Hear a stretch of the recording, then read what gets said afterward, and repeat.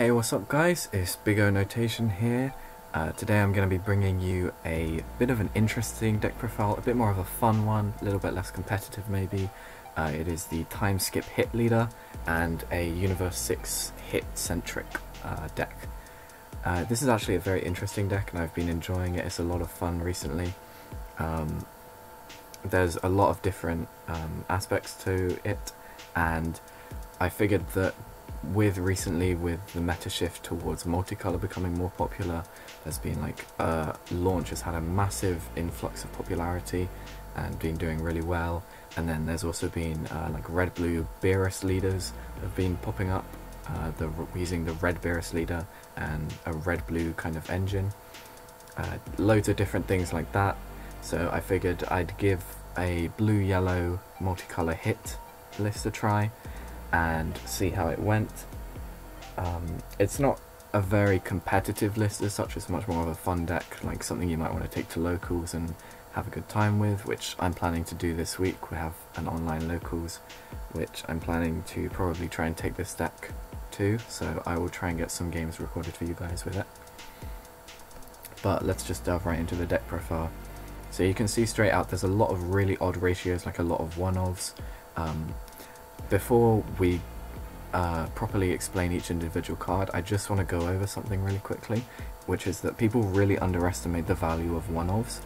So, intrinsically in card games, when you draw multiple copies of a card, there is diminishing returns within the second copy or the third copy of the card um, to the value of the card because you don't have as many options in your hand because you have copies of the same card in your hand so having lower ratios of the same copy of a card is actually a really, really powerful thing, and within a properly balanced metagame, um, there are actually a lot more one-offs and two-offs than there are like four-offs.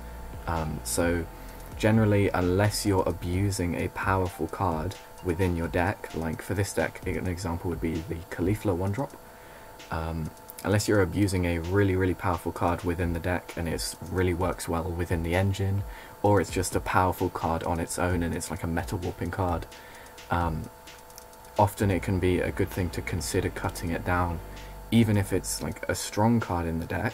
Like here I've got Goku and Hit, this is like one of the best blue-yellow um, arrival cards in the game at the moment, and i am only running it at 3 because ha just having the other options in the deck and having um, like having the option to maybe grab Cabbas, maybe grab Kales off of a Caulifla search is actually really, really powerful and I really, really want to emphasize this point because it's really important to understand.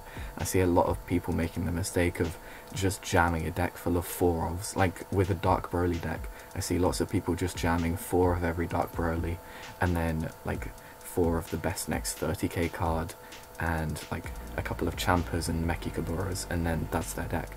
But what you really want to be doing with that kind of deck is having a lot of different 30k options uh, for Dark Broly specifically, so that you can have more of a toolboxy deck and have a card for every different situation and then be able to go through your deck and search it out or go through your drop area or warp, more in the case of Dark Broly, and search it out. Um, so I just wanted to explain that little point quickly before the deck profile because it's very um, relevant to this deck because there's a lot of really odd ratios. So um, as I get into it, the first card is Hit in Cold Blood. This is kind of like a finisher card. Um, you have to have quite a large board um, to be able to utilize its permanent. So its permanent is reduce the energy cost of this card in your hand by one for each of your battle cards that are blue-yellow. Um, it has four specified costs, so it's always going to cost four because this permanent doesn't reduce the specified cost, so the minimum that it will cost is 4. So it's a very um, expensive finisher, but it's a 30k triple strike, and when you play it you get to flip your opponent's leader to the front, and they can't activate their Awaken or Wish skills until the end of the next turn. So that's actually a very, very important part of this deck is flipping the opponent's leader over. Um, very important in the hit mechanic. Um, we're only running one because it's kind of like the boss monster and it doesn't come up too often because of its expensive cost, but um, there'll be a decent number of games where it is very good as a finisher, just as a big triple strike body. Next card we have is three of the Goku Hit, as I mentioned before. Um, this deck is like a very, very defensive deck, first and foremost. So this card fits perfectly in it, and it can also flexibly act as a dual attacker as well, if you want to try and kill someone. Um, very good card, Arrival Blue-Yellow for a blue specific cost, and then an Activate Battle of once per turn. If your leader card is blue or yellow, you get to switch the card to active mode. And it's a blocker, so you can either block twice during a turn or you can attack twice during your turn. So you block twice during your opponent's and then attack twice during your own turn. Uh, very, very strong card. I'm only running it at 3 just because I didn't quite have enough space in the deck. I would theoretically like this card to be a 4 of, but um, unless you're charging multicolor, you often charge quite a bit of yellow energy in the deck as well. And so often the specified blue of the arrival cost can become a little bit tricky to manipulate. Um, so onto the main engine of the deck is the 2-drop hit after Image Master. When you play him from your hand, you your opponent warps one from their hand, and then he can kind of blink out of the game into the warp uh, for a turn, just to keep him alive. So he sends himself to the owner's warp as an activating main, and then at the start of your next main phase, he just comes back into play. Uh, this doesn't trigger his auto again because it's only when he's played from the hand, so something to note. Um, and I'm only running it at 3 because the idea is that you search it off of the one drop Caulifla um, if you don't see it in the opening hand. This is a very very important card to have in the opening or in your early turns because it's very um, important for your main play of the deck. Um, I'm just going to go over the leader as well, because that's quite important. Um, so on the front side, he's an activate main once per turn. You take a life, and then you play a one-drop blue or yellow U6 card for free from your hand. This is actually really, really good um, if you're running a multicolor deck like I am, because you can turn one, charge a multicolor card, and then still play down a one-drop.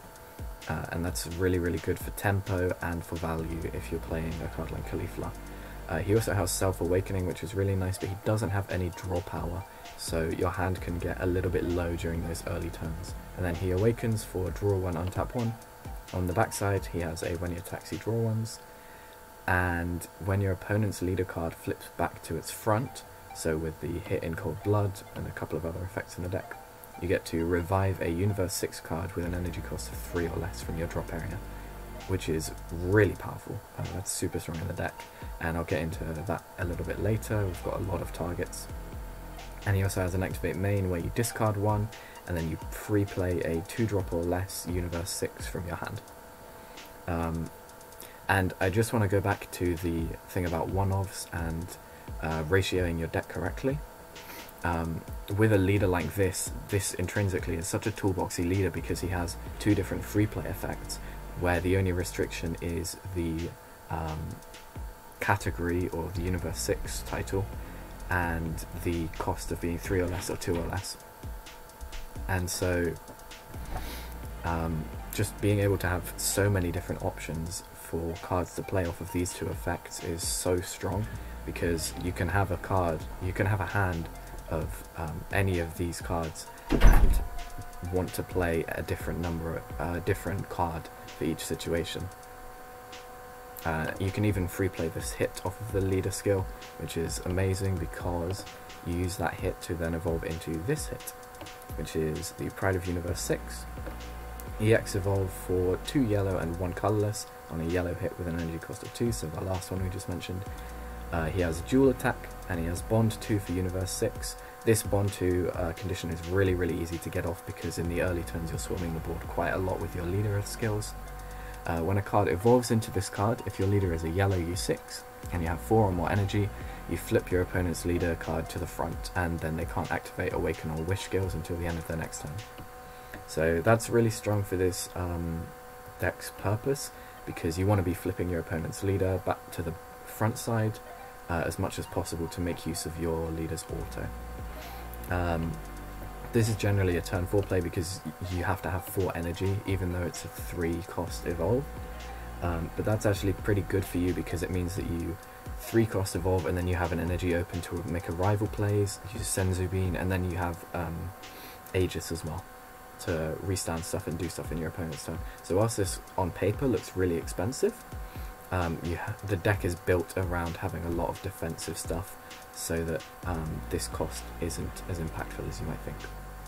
Um, and he also has an activate main of being able to negate an opponent's battle card skill for the turn and send it to the warp, and then at the end of your opponent's next turn it gets played in rest mode to their field. So just some nice uh, ways to temporarily deal with a threatening battle card and be able to being able to bring it back out in rest mode is actually really really important for the deck. Um, because it's a yellow deck it's yellow blue so it doesn't actually have much removal within the um, engine or within its powerful cards of each color. So being able to just play some uh, effectively switch something to rest mode and have it blink out for the turn so it can't attack um, is really strong because not only does it stop them using that card's effects or attacks, but it means that you can then attack over it the next turn. Uh, we're only running three of each of these. I would really like to run um, four of each of these, but I couldn't find the space. And because they they have the Universe 6 tag, along with the Goku hit, because it's a hit card technically, um, it's actually really easy to search each of these nine cards. So that's just something to bear in mind uh, again when ratioing the cards is if they're searchable it is often um, a little bit easier to take down the number of cards, number of copies of a card you're playing um, if it's searchable because you'll probably find it just as much. Then I'm running two hit rapid movement. Um, he is basically just a, a free combo for multicolor, for blue yellow. If I have a blue or yellow multicolor card in the energy, his combo cost is reduced by 1. Uh, and then when you play him, you can also bottom deck one of your opponent's battle cards, which can come in uh, clutch sometimes, but mostly it's for the free blue-yellow combo for arrival plays. I'm only running two copies of this card because we also have four blue-yellow super combos, and for a blue-yellow deck, this deck does not have very many arrivals. It has the Goku hit, it has the Bojack, and then down here it has a second Bojack, so there's only a total of nine arrival cards, so actually really not that many.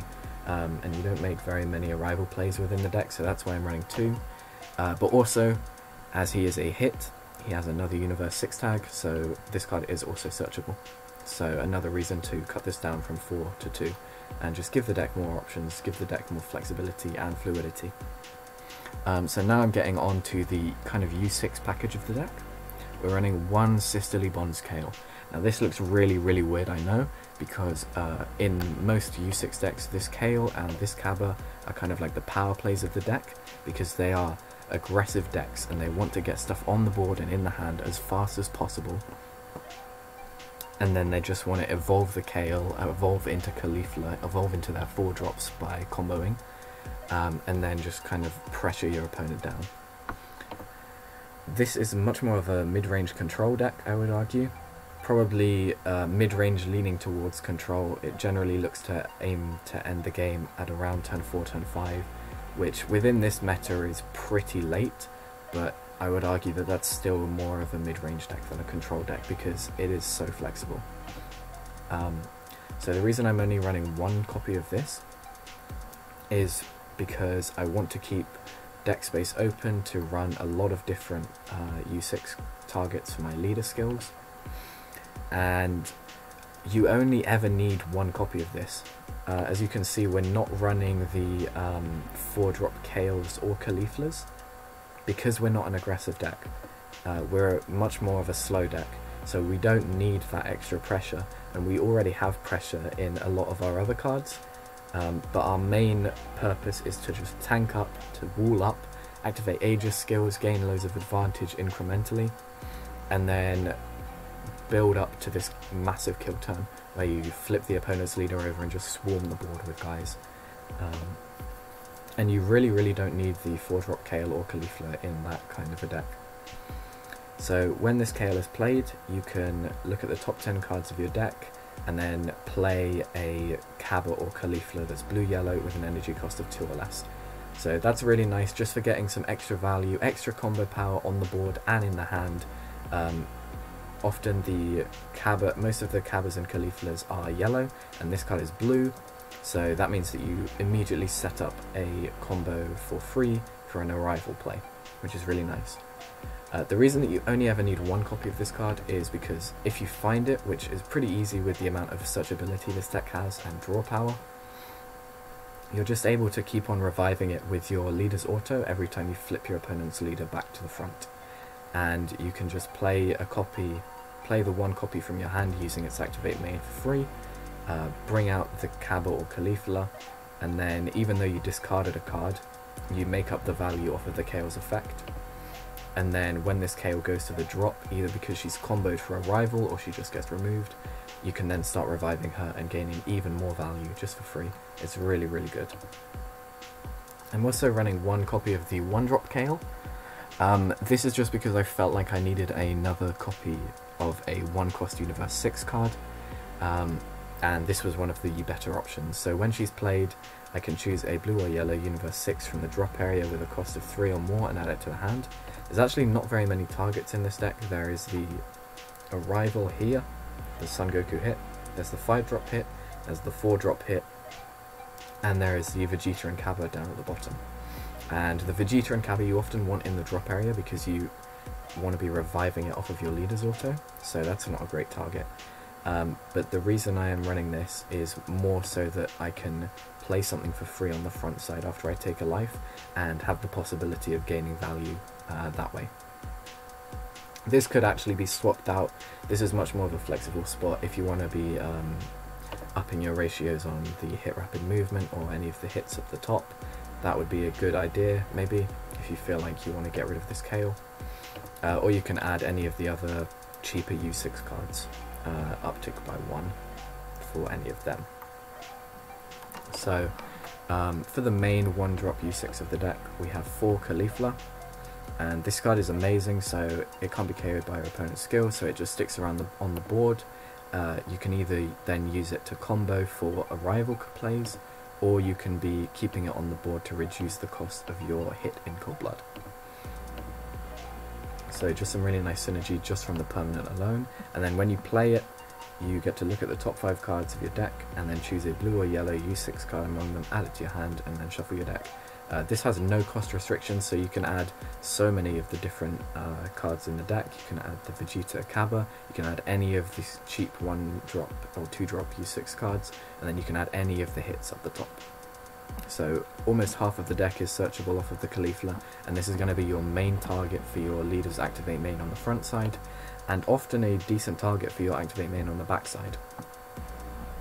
Just really, really key to the deck, and that's why I'm running four copies of it, because it is going to be the main card that you want to be seeing every single game. I'm also running one copy of Cabba, Bonds of U6. This is just another one drop so that uh, I have a total of six one-cost uh, U6 cards to bring out of the leader activate main on the front side. And when I play Cabba, if there is a U6 battle card in the drop area, I can discard a card and then revive a non-Cabba Universe 6 card with an energy cost of 1 from the drop. Uh, this is really nice because um, we don't have any of the we only have one copy of this card, so there's never going to be a situation where you have a copy of this in the drop and you're about to play another copy. So the non-Cabba clause is fairly irrelevant to this deck, uh, but it's just nice if you need to revive, say, a Caulifla or a Kale. Just some nice flexibility again. Um, can set up your arrival plays if you discard one to revive Caulifla, because that's a blue and a yellow on the board, and the yellow card cannot be KO'd by skills. So it's just really nice for that kind of a play. And just a cheap one drop to give you some extra value and another target for the activate main on the front side. Then I am also running one copy of Cabba, Saiyan of the Universe 6. Um, the second auto is irrelevant because we're not running the card Planet Sadala. I read Planet Sadala and I just felt like it didn't do anything um, for the deck. It's really, really underwhelming as a card on its own, and it's unless you have a reliable way to um, draw the two cards, it's not worth running a mediocre or trash card um, just for a small synergy. So I ended up not running the Planet Sadala, so this auto just is doesn't do anything for this deck. But this auto is really where this card shines. You look at the top seven cards of the deck when this card is played, and then you add two blue or yellow U6 cards among them to your hand, and then if you added a card, you discard a card. So it's an immediate plus one if you add two, which is just perfect, exactly what this kind of deck wants. You want to be incrementally just gaining value um, off of your card effects. And you can free play this card off of the backside leader, either of the activate main or the auto. And you only ever need one copy similar to the Kale, because as soon as you see that one copy, uh, you have a target in the drop for your leader's auto. That is the main idea of this deck, is just having a powerful effect in the drop that you can then keep on recurring off of the leader's auto. Um, so that's why I'm only running one copy of the Cabba, even though it looks really powerful. Um, you don't want to be playing it every turn off of the activate main because that becomes too expensive. You don't want to be playing it every turn for 2 energy because that becomes too expensive. But as soon as you have one copy in the drop area, you just recur it, recur it, recur it, and then draw 2, draw 2, draw 2. And it's so, so powerful. So onto the more generic blue-yellow and yellow stuff. I am running 4 Zamasu Sacred Belief. As I said earlier, this is more of a mid-range leaning into control strategy, so this is the perfect super combo because you want to be resting your opponent's battle cards when they attack, so that they can't attack. Um, also, it just so happens that the deck is blue-yellow, so this will trigger off any kind of arrival plays that you want to be making. So the next powerful card of the deck is the Violent Rush Bojack. Um, this is just the best card for any kind of Aegis-based deck, as it is an Arrival Blue-Yellow for one yellow, which is perfect because most of the monocolor stuff in this deck is yellow. Uh, it has Aegis and it has Barrier, uh, which is perfect. It just allows for um, any a load of protection for the card, and it's a 20k body. And then when it activates Aegis Blue Yellow skill, you draw a card. Um, that's amazing because with this deck, whenever you activate Aegis, you want to be pitching a blue-yellow card. So this immediately replaces that card and means that you don't minus any kind of card advantage um, for your Aegis activation. Also, because this card has barrier, it's very, very safe to just attack your opponent's leader and put on pressure with this card because it is going to be protected against almost every single skill in the game. And if they're attacking onto it, um, it's a 20k body first off, so it's pretty strong. Uh, they're going to have to invest quite a bit into killing it. And if they're attacking into it, you can just activate Aegis and then gain your advantage, and then use all of your arrival skills from the hand. So really, really powerful card, and because it has unique, um, you have to watch out for that. You can't have multiple copies of this card out, otherwise that would be bonkers. Um, but if they ever kill this card, it means that you're quite likely to have another copy in hand. Um, the argument for cutting it down to three would be that it has unique, but it's such a powerful card. Like I said at the start, the only cards that you want to be having at four are like synergy cards that because your deck intrinsically has a lot of synergy, like this deck has a lot of U6 stuff, so I'm running 4 Caulifla because it synergizes so well with the 7 drop hit, it synergizes with the U6 package, and it synergizes with the leader. Um, or you just want to be abusing power cards, and this is an example of a power card because as a standalone card, it is very, very strong when it comes out, and it's very cheap. So for the next card, I'm running a total of four copies of the blue-yellow Checkland. Um,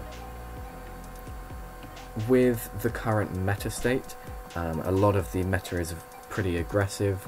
There's like aggressive variants of launch running around. Dark Broly can be very aggressive. Uh, Red Broly is obviously incredibly aggressive. Um, Mecha Frieza not so much, much more mid-range control but a lot of the meta is uh, very, very aggressive. So running checklands is actually pretty bad generally into an aggressive meta because the idea of a checkland is that you are banking on the idea of the game going longer because you want to be charging a multicolor turn 1 which means you're not really getting a turn 1 and then you have these useless checklands in your hand that don't really do anything unless you're making it to the later stages of the game to turn 2, turn 3, turn 4. So if you run 4 copies of a checkland in any normal multicolor deck, uh, you'll just get completely ran over by any kind of aggressive deck because they don't do anything um, unless you're making it to the later turns. However, the reason that I'm running four copies of a Checkland in this deck is because it is very, very defensive with all of the Aegis capabilities. Flying Nimbus at 3, we have Bergamo, we have Bardock, we have a lot of defensive stuff uh, because blue-yellow in itself is a very, very defensive colour combination. Um, both of the colours are much more aimed towards control than they are aggro. Um, so that is one of the reasons why I'm running four copies of the Checkland. The other reason is that you just want a high blue-yellow multicolor count because you are an Aegis deck and you want to be pitching a blue-yellow every single time you activate Aegis, otherwise you'll be leaking card advantage every single time and that can really lose you games. So even if you have dead copies of the Checkland in your hand and you think you're going to die to an aggro deck, as long as you have the Bojack um, or a Vegeta and Cabba on the board to activate Aegis skills, you can just start pitching them to activate Aegis and then use the energy for more combo power, more arrival plays. Um, Aegis is just really, really enables this deck and that's why uh, I'm running four copies of the Checkland. So I'm running three copies of Bergamo Ferocious Roar. Um, I've been really, really on and off about this card. I've been considering cutting it down completely out of the deck I've been considering having it at 4, I've had it at a number of different uh, points in the middle. Um, it's it's a really really strong standalone card, but the issue is is it needs to be combined with other um, resting cards to actually activate itself. So I'll just read through it. Uh, it has an auto of one yellow and one of colorless. When an opponent's card is switched to rest mode by one of your skills, you can play him.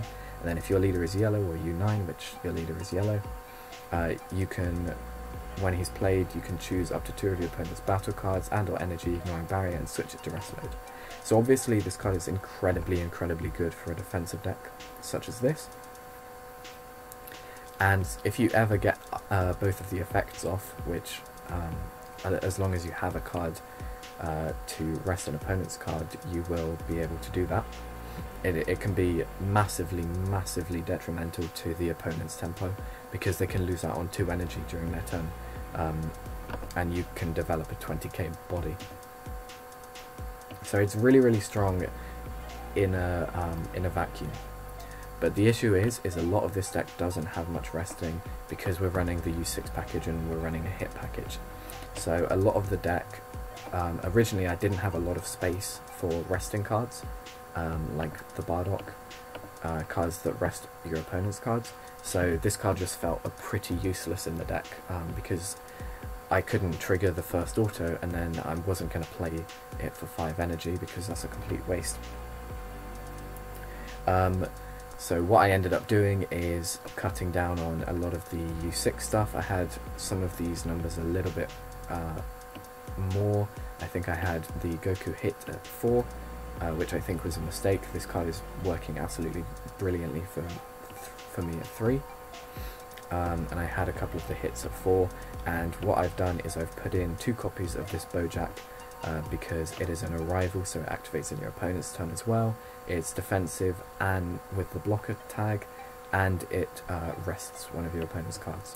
So it's a cheap, it's even cheaper than the Bardock to rest a card and it triggers Bergamo and it's even more defensive than Bardock.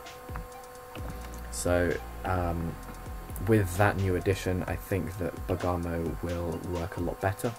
I'm still yet to te uh, test it in depth, but on paper, in theory, and in the brief testing that I've done with the new edition of the Bojack, um, it will work really well.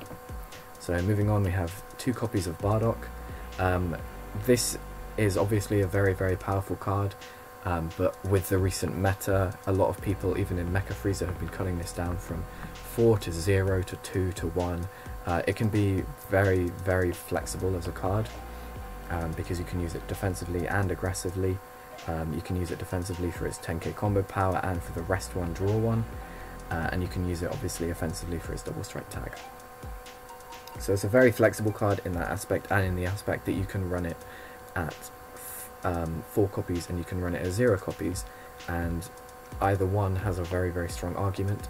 Um, I'm kind of sticking in the middle, I'm going for two copies, uh, and the reason for this is just, again, to keep the deck more flexible, to allow Bergamo to consistently proc, but without clogging up the hand with a bunch of 10k combos. We're all running, all, already running a lot of 10k combos because we are a multicolor deck. Um, and for a multicolor deck, we're not even running that many 10ks because I've um, kind of tried to diminish the amount of 10ks I've been running and add cards like hit rapid movement. So even though we're not running that many 10ks compared to a lot of other multicolor decks, um, we're still running quite a few. And for that reason I've decided to cut this card down to two. And it's been working really well for me. Because you can activate this card uh, you can combo in this card, you can use Aegis, and Aegis untaps 2, and then you can combo in this card, and that's really, really good as a combination. It gives you a lot, a lot of advantage. On to the next card I'm running, I'm running one copy of the Kai Secret Rare. This is just an incredible card. Um, this is like probably one of the best cards in the game at the moment. Uh, really, really good for um, any kind of mid-range control deck, any deck that aims to make it to turn 3 and even really good in a lot of aggro decks because it's just a one cost 40k. Um, just a really, really amazing card. Uh, this card works so well in this deck because energy is not that much of an issue once you reach turn 3. Because once you reach turn 3, you can be dropping your um, Aegis cards like Vegeta and Cabba, you can be dropping Bojack a lot easier.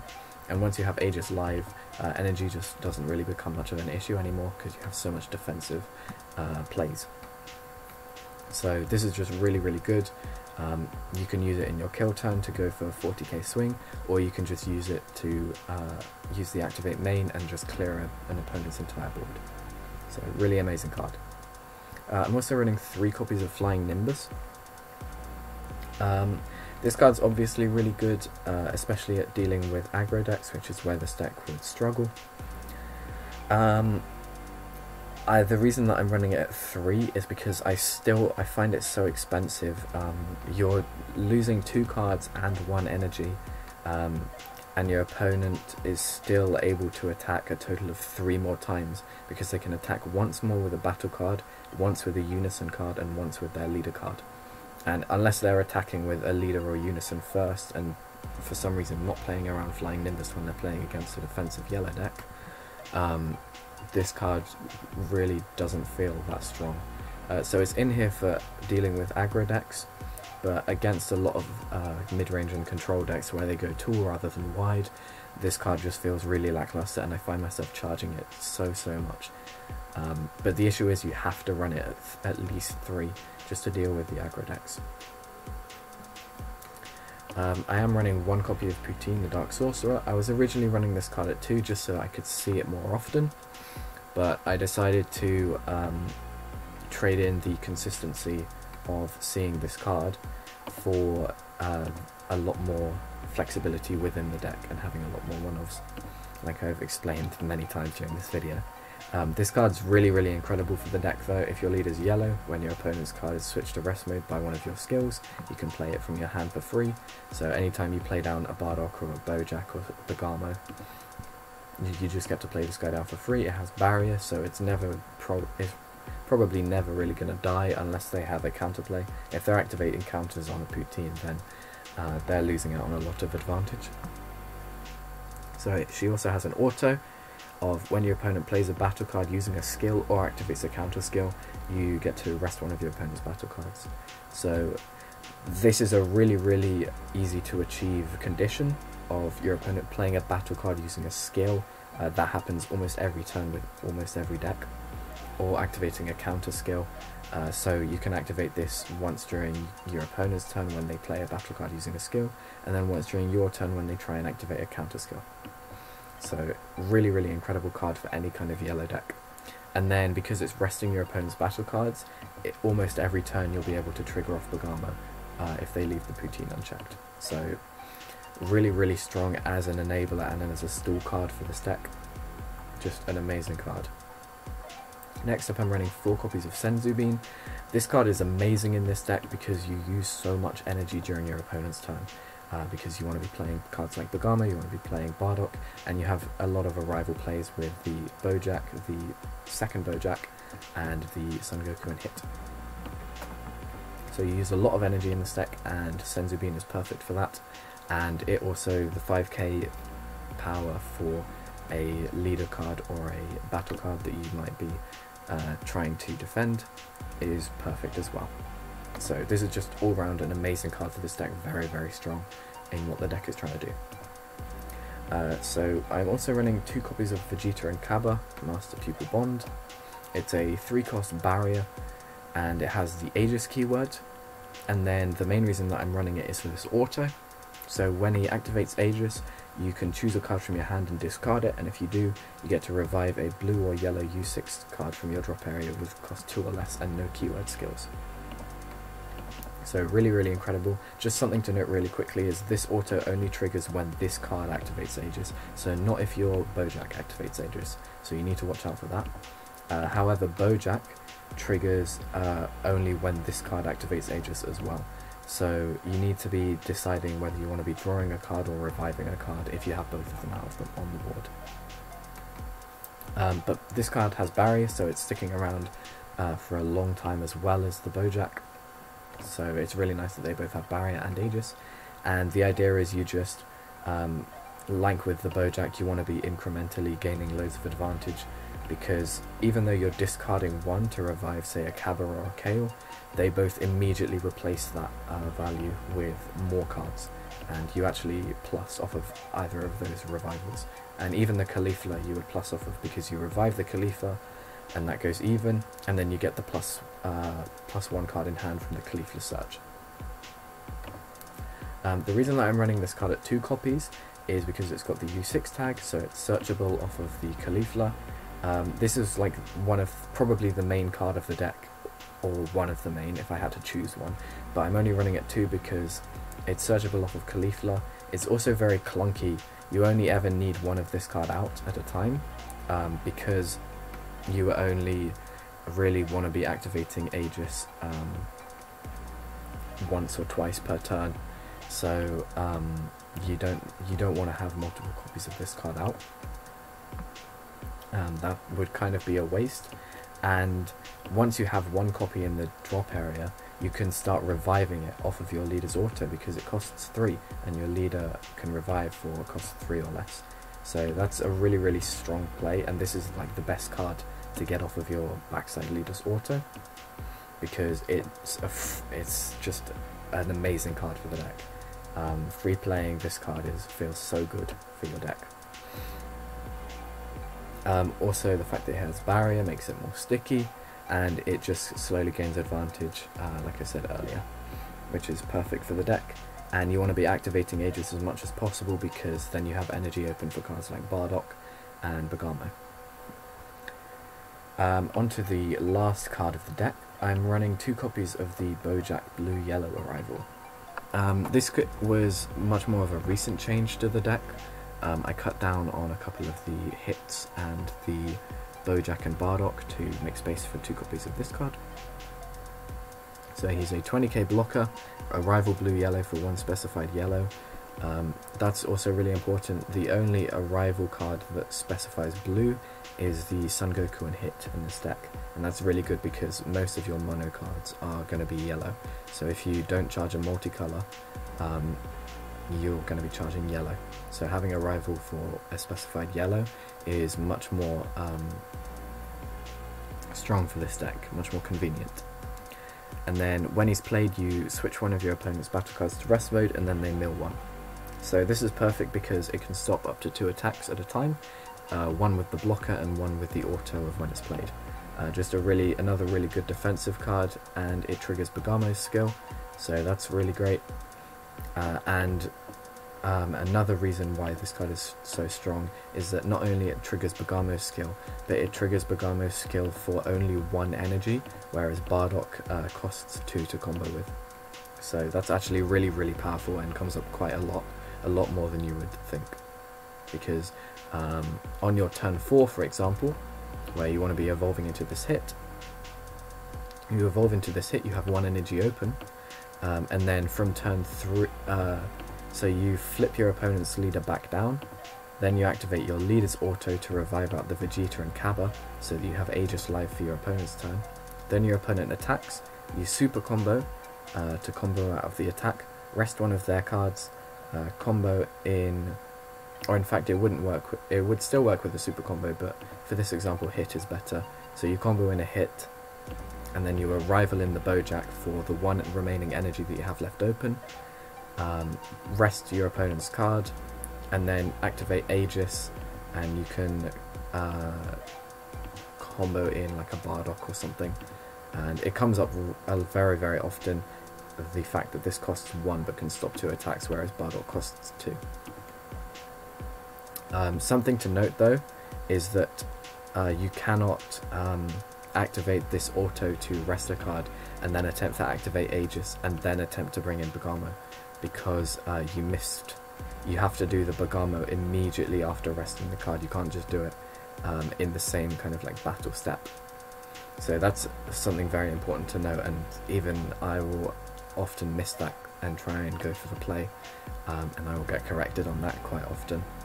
But that's just something very, very important to note because you will uh, you can catch yourself making misplays with that all the time. So here I haven't really got a huge number of cards that I wanted to suggest maybe running in this deck. Uh, the main one is Frost Deadly Poison. Um, for anyone who was playing during Surge format and where Surge Goku Tricolor was running around rampant and Surge Piccolo, um, this card was a very very prominent. Uh, there was a so Surge Goku for those who don't know was a red yellow leader, and originally it was a red yellow deck, and then people realized that this card was so strong, uh, and Senzu was also in blue, that they could splash blue into the deck and then have access to this card and the cooler red blue arrival and Senzu and it was just really really oppressive.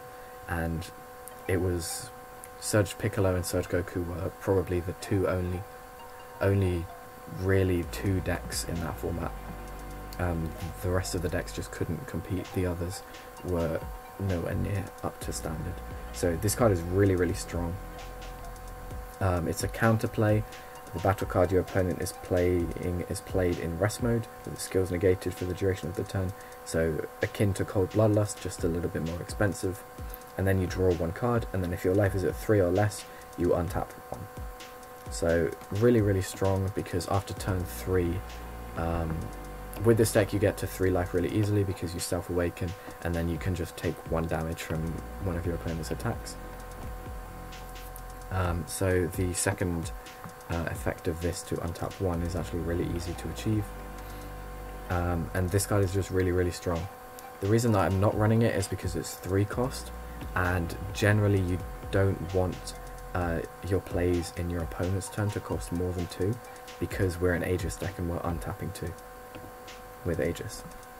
So, um, we we don't want to be running cards that cost more than two with the intention of playing them in our opponent's turn because um, it would just be really inefficient energy wise and you'd have to leave energy open preemptively and not be able to rely on Aegis properly to pay for it. Um, so that's the deck profile. Um, as you can see the title is Janky Hit.